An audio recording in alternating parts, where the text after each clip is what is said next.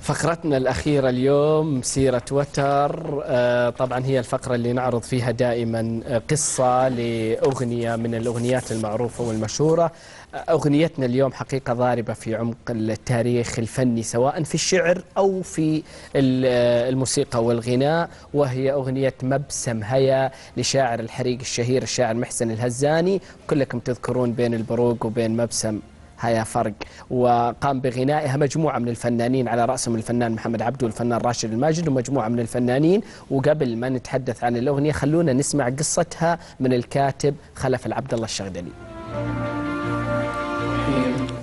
آه، أوجه تحية إلى برنامج يا أهلا بالعرفج وإلى عامل المعرفة الدكتور أحمد العرفج.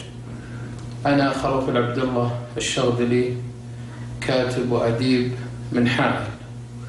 أسرد إليكم قصة وقصيدة من التراث الشعبي للشاعر الكبير أمير الحريق محسن عثمان الهزاني الذي توفي عام 1245 والقصيدة هي برق تلالة قلت عز الجلالة وثر جميل صويحبي واحسبه برق طبعا الهدف من القصة أنها غنيت من أكثر من فنان غناها فنان العرب محمد عبده والفنان راشد الماجد. ولكني أعجبت بأغنية آه، لحن جميل للفنان الإماراتي أنور الحيائي. آه، طبعا الملحن عامر سعيد المحرمي من الإمارات.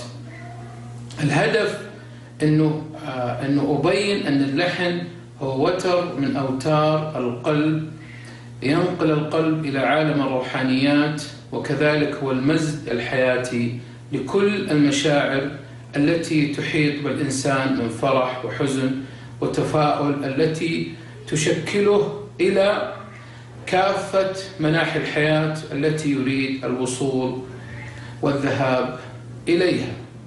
طبعا القصة معروفة آه، أنه هناك ملك قديم محاط بأربعة أسوار وواحة نخيل وبير يملكه شخص بيع على شخصين.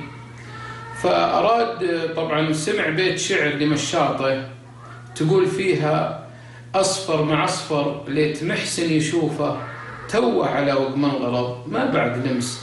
طبعا سمع البيت محسن الهزاني أراد الدخول إلى هذا الملك ولم يستطع لأن الأبواب مقفلة.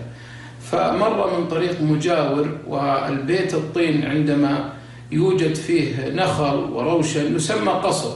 فمر من طريق مجاور فشاف هيا في الروشن وقال قصيدته المشهورة برق تلالة قلت عز الجلالة وثر جبين صويحبي واحسبها برق.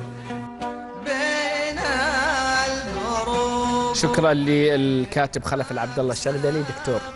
آه، أكرر الشكر له. هذا ما شاء الله شاب آه، مكافح ودائما آه، يثرينا بالمعلومات سواء كانت تعلن أو ما تعلن. أيضا خليني أشكر قناة روتانا اللي بثت أول فيلم دراما سعودية عن محسن الهزاني هذا الشاعر الكبير. أمير كان أمير الحريق وبعدين تفرغ للشعر. عملت مسلسل عنه 30 حلقة وبعدين عرضته الام بي سي. طبعا ما في شك النص من جماله غنى أكثر من فنان زي ما تفضلت. إلى الآن يمكن عشر فنانين غنوه وهو يتغزل بامرأة اسمها هيا وهذا اسم لا يطرح في الغزل بشكل كبير دائما. آه، ما أقدر أقول إلا إنه بس نتذوق النص بس وشوف الحكمة. أيضا النص يحكي عن مرحلة تاريخية مجهولة في الجزيرة العربية اللي سووا فيها الفيلم هذه. مرحلة تاريخية لا يعرفها كثير من الناس. أكرر شكري للكاتب الصديق آه، خلف ال- الشغدلي وإن شاء الله يكون معنا في مشاركات جاية. طيب آه، دكتور آه، إحنا نشكر لك حضورك معنا والأربعاء الجاي نشوفك إن شاء الله. إن شاء الله. وقبل ما أنهي بس الحلقة أبغى أنوه بعد إذنك لموضوع مهم إنه في الأربعاء المقبل راح تكون آخر حلقات يا هلا بالعرفج لهذا الموسم. آه هذه الحلقة بقدر حزن إنها حتكون آخر حلقة لكن في جانب احتفائي معين إنها راح تكون الحلقة رقم 200 في مسيرة يا هلا بالعرفج. ولذلك نحن في يا هلا بالعرفج آه، يسعدنا حقيقة أنه كل الناس يتشاركون معنا في إبداء مشاعرهم وآرائهم وانطباعاتهم. حول يا هلا بالعرفج لأن يا هلا بالعرفج من بداياته وهو من الناس وإلى الناس وقريب منهم. رقم الواتساب المعروف لبرنامج يا هلا تجدونه على حساب يا هلا في آه، تويتر. يستطيع كل شخص أنه يسجل فيديو وهذا ظاهر أمامكم على الشاشة الآن هذا رقم الواتساب. يستطيع يستطيع كل شخص إنه يسجل فيديو يعبر فيه عن رأيه بيا هلا بالعرفج.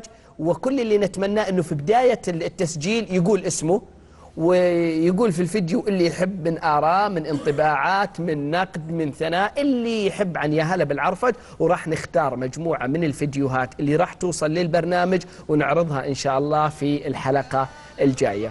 الحلقة الجاية حنستقبل فيها الدكتور العرفج في بداية الحلقة ونودعه كنهاية موسم ليا هلا بالعرفج.